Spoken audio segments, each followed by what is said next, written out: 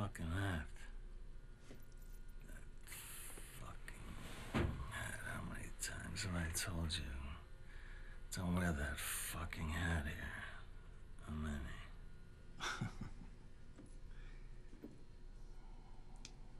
Customers wear hats. I'm not the boss of the customers.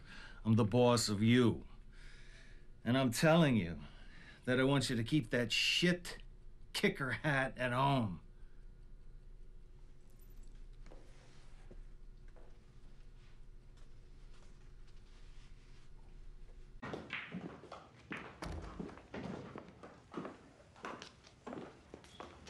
Yeah, but honey, uh, the toilet is at it again. There's shitty water all over the floor. Okay.